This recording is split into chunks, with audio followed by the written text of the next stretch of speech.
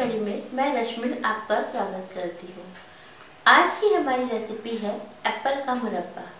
Apple का मुरब्बा एक बारह महीने बनने वाला मुरब्बा है क्योंकि एप्पल साल भर आता है और एप्पल का मुरब्बा बेहद स्वादिष्ट और बेहद पौष्टिक होता है।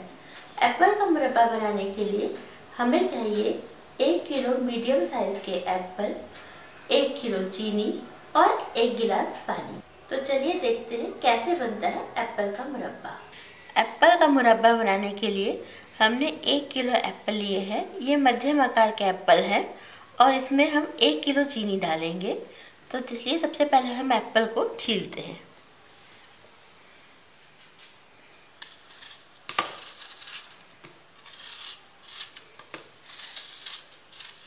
एप्पल को छीलने के बाद हम इसके चार टुकड़े करेंगे इस तरह से।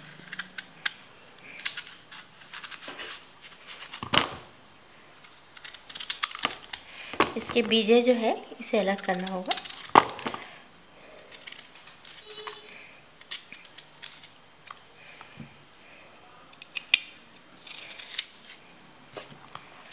इस तरह से हम इसके बीजे अलग करके चार बड़े बड़े पीसेस कर लेंगे। इसी तरह से हम बाकी एप्पलों को भी छील के चार पीस करके रख लेंगे।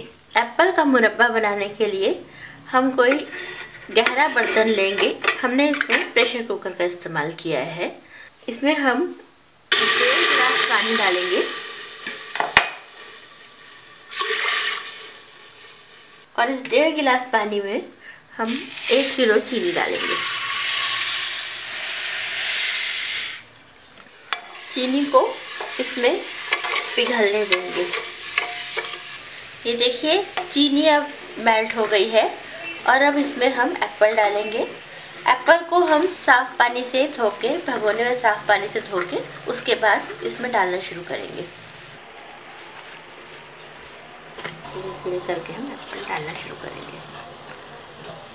एप्पल को थोड़ा सा चीनी में ऊपर नीचे कर लीजिए और इसे अब पकने दीजिए। एप्पल का मुरब्बा दो स्टेज में बनता है। इसके बनाने में हमें दो दिन लगते हैं। आज हम पहले स्टेज दिखा रहे हैं आपको। पहली स्टेज में एप्पल को हमें बहुत देर नहीं पकाना है। इसको हमें सात आठ मिनट पकाने के बाद इसे बंद कर देना है। तो अभी इसे हम सात आठ मिनट पकाते हैं। सात आठ मिनट हो गए हैं एप्पल को पकते हुए। एप्पल थोड़े से सॉफ्ट हो गए हैं और अब इसको हम गैस को हम ऑफ़ कर देंगे और इसको जो है, अगली स्टेज जो है इसकी, वो हम इसे कल बनाएँगे। क्योंकि एप्पल का मुरब्बे में अगर हमें पीसेस चाहिए तो इसे हमें दो दो स्टेज पे बनाना पड़ता है। अब एक थाल में हम पानी डाल लेंगे। इतना पानी कि कुकर का नीचे का तल्ला डूब जाए और इसकी कुकिंग जो है वो स्टॉप हो जाए। अब इस थाल पे हम इस कुकर को इस तरह से ढक देंगे। और इसके बाद कुकर का लिड जो सीटी हटा के हमने रखा है, इससे हम लगा देंगे। अब ये इस तरह से कल तक इसी तरह से रहेगा। 24 घंटे हो गए हैं। अब हम कुकर की लिड खोलेंगे। ये देखिए, सेव के अभी तक बड़े बड़े पीसेस जो हैं अभी मौजूद है। 24 घंटे बाद ही इसी तरह से है। तो आज हम इसकी दोबारा से कुकिंग शुरू करते हैं। दूसरी स्टेज में इसको हम करीब 10 मिनट पकाएँगे। और फिर इसे बंद कर देंगे। मुरब्बे को जितने धीमे धीमे पकाए, उतना अच्छा बनता है। इसके पीसेस इंटैक्ट रहते हैं और इनके अंदर रस भरता है। तो इसे आराम से कल स्टेज में ही पकाना चाहिए। इसे हम 10 मिनट के लिए पकाएँगे। बहुत तेज़ तेज़ी से नहीं चलाना है, वरना पीसेस टूट जाएँगे। हल्के हल्के हाथों से इस तरह से चलाएँगे। अब इसमें उबाल आना शुरू हो गया है। जब उबाल आने लगे तो हम गैस की आँच धीमी कर देंगे और पाँच सात मिनट इसको और पकने देंगे। उसके बाद इसे फिर से बंद कर देंगे। ये देखिए, चाशनी हमारी थोड़ी गाढ़ी होनी शुरू हो गई है। इस तरह से हल्की हल्की गाढ़ी होने लगी है। अब इस स्टेज में इसको हम कुकिंग को फिर से स्टॉप करेंगे। गैस को ऑफ़ करेंगे। कुकिंग स्टॉप करने के लिए हम इसको यहाँ पर बंद कर देंगे और उसके बाद फिर से हम कुकर का लिड लगा के दोबारा से एक परात में पानी रख के फिर से ऐसे रख देंगे। ये करीब दो तीन घंटे ऐसे ही रहेगा। उसके बाद हम इसको फाइनल कुकिंग करके मुरब्बा कंप्लीट करेंगे। कुकर की लिड को हम दोबारा से खोलेंगे। अब इसे फिर से हमने एक बार कुकिंग के लिए रख दिया। आज तेज रखेंगे हम।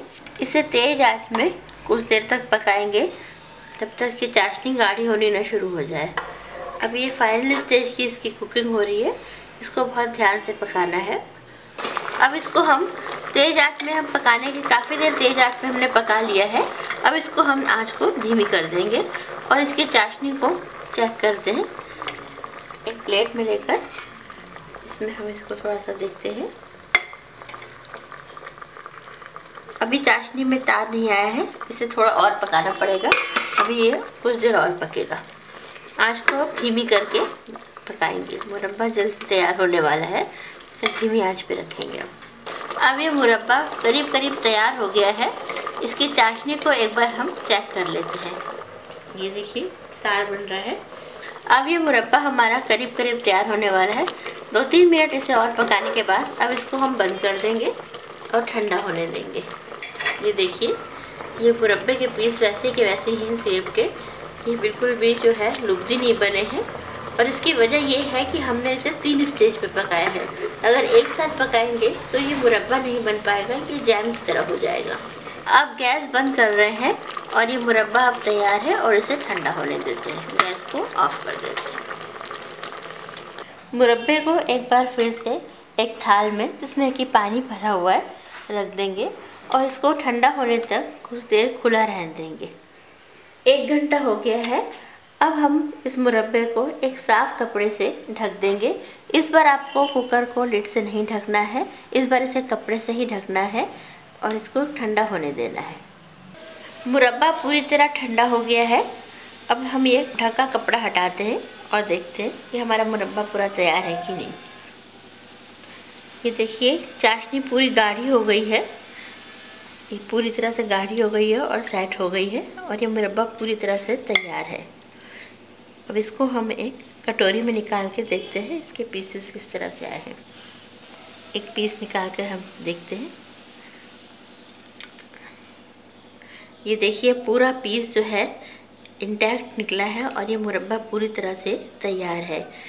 इस मुरब्बे में एक भी प्रिजर्वेटिव नहीं डले हैं। इसके बावजूद इसकी लाइफ बहुत ज़्यादा है और ये ख़राब नहीं होगी। इसको आप इसके बाद एयरटाइट कंटेनर में बंद करके रख सकते हैं और महीनों तक तो ख़राब नहीं होगा ये। तो लीजिए, तैयार है एप्पल का मुरब्बा, जिसको हमने एयर टाइट जार में रखा है। इसे आप पूरी पराठा ब्रेड जिसके साथ भी चाहे खाएँ और सेहत बनाइए। उम्मीद है आपको हमारी आज की रेसिपी पसंद आई होगी। अगर आपको हमारी रेसिपी पसंद आई तो हमारा चैनल व्यंजन भारती सब्सक्राइब करें और इसे शेयर करें। और अब आप हमारी रेसिपी हमारी वेबसाइट www.व्यंजनभारती.com में देख सकते हैं। अगली कड़ी में हम आपके साथ एक नई रेसिपी के साथ हाजिर होंगे। तब तक के लिए नमस्कार।